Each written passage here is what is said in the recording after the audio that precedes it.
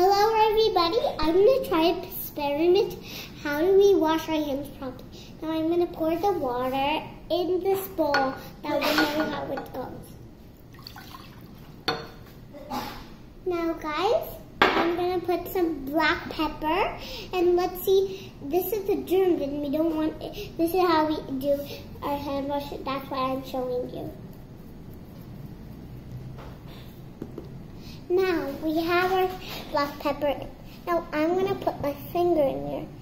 Now it has germs. We don't want our germs to be in here, right? No. So this here, I'm gonna put some hand wash. It says hand wash. Now if I put